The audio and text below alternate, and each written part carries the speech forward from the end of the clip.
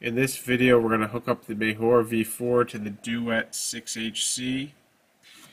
The first step is to connect the stepper motor. So we have four wires here and we're going to use some connectors and pins. Here's the connector.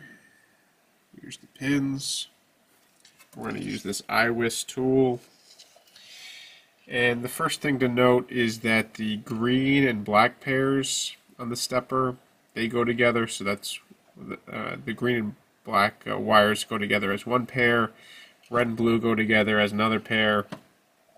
And I'm going to wire this directly here just for demo purposes, but normally you go through a wire like this with a connector at the end and uh, that's for a 3D printer or an extruder um, because this isn't long enough.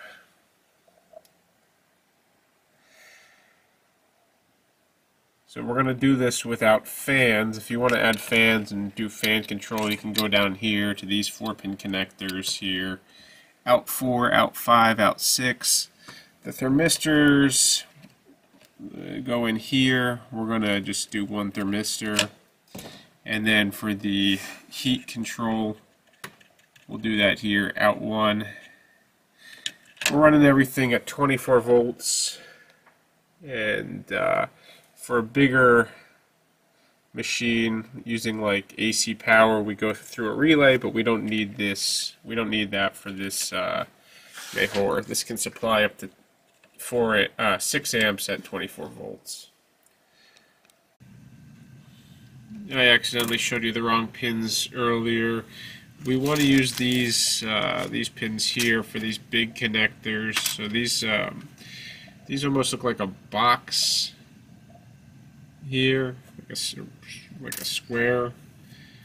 Compared to these pins, these look different here. These are for the smaller connectors like this with the two kind of rails. So you get your IWISS tool and put the crimp in.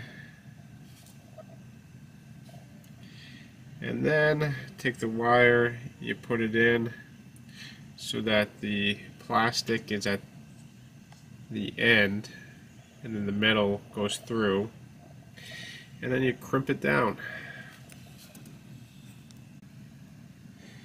When you're done it should look like this black, green, red, blue and when you put each of these in here it'll make a clicking sound and then this all clips right in here. Next, we're going to wire in the heater cartridge. This is a 24 volt, 50 watt heater cartridge. All the cartridges are the same dimension, 6 millimeter diameter by 20 millimeter long. And we're going to use the same style of crimp connector here. This is a uh, square type. Next, we use these crimps, these ones Here's the part number. And these go into this two pin connector. And then that's going to connect right up to temp zero here. Right here. I ended up going to temp one actually here. And we're getting temperature feedback on our screen. Also on the computer. So that's good. Now it's time to put these inside. We have everything wired up. So we're going to use a two and a half millimeter hex key here to take these off. Alright, the heater's in the block here, the thermistor's in the block. There's a 1.5 millimeter screw here that needs to be turned, and then a 2 millimeter screw here. And it's a tight fit, but uh, here we go. Some of the Duet uh, parameters are available here at the uh, Mahor site. I'll put the link in the description. And so you can copy these. This is the max temp and so on and so forth. This is important. You don't want it to burn up. So make sure your current is appropriate for the motor. And if you want to do cold extrusion, if you don't have any material in there, uh, then you can do that just for testing purposes. I have some material in there already, so uh, I'm not going to do that. You'll just hear a stalled motor, essentially, if you, if you have material that's hardened and you try to cold extrude. I did copy over the PID parameters here, though, to the config file. So I'm going to save it.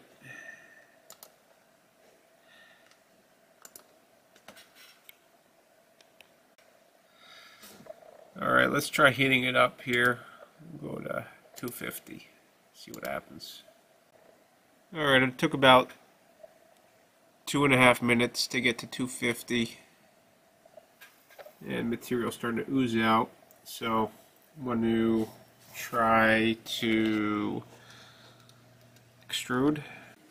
Extrude. Alright. Now it's spun, but it's spun the wrong way. So there's a couple ways to solve this. One way is to just switch any two wires here. So, well, any two coupled wires. So black and black and green can switch, or red and blue. So that's an electrical way to switch. Or in the config file, we go to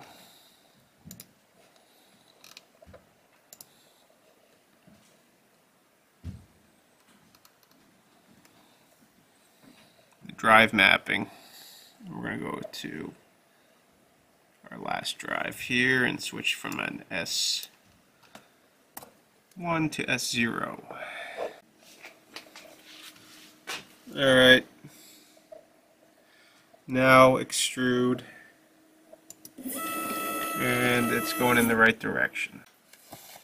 Alright, I'm adding more temperatures here so we can go higher. We're going to go up to 300 C. That's done here, down here, machine specific, and then add our temperature. So 300 and add. I'm also going to set the in the um, config file. I'm going to set the max temperature to like 310.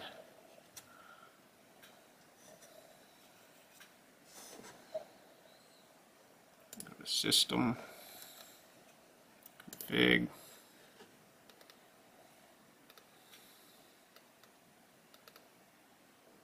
I'm going to go to 310 here.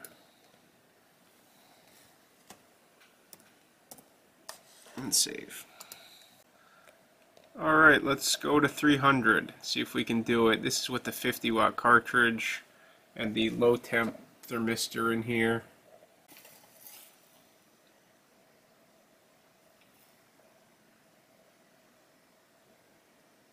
Alright, shooting for 300.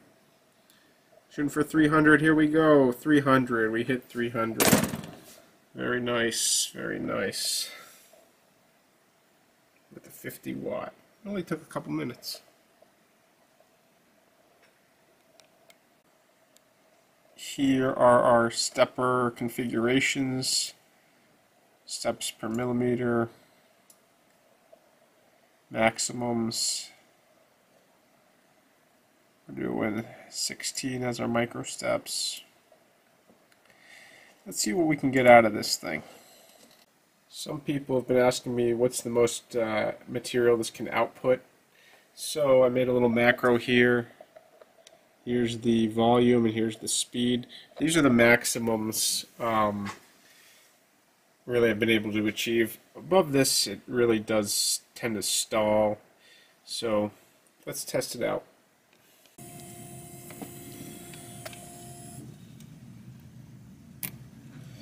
Alright, the material out is 0.065 ounces.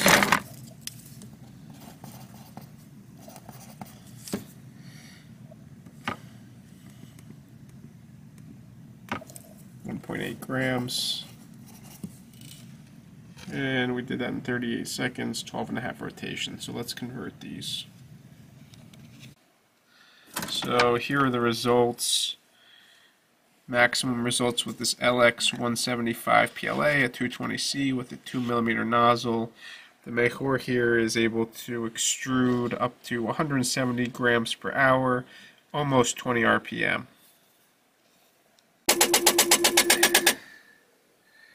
This was able to generate about nine and a half pounds peak of force before stalling out.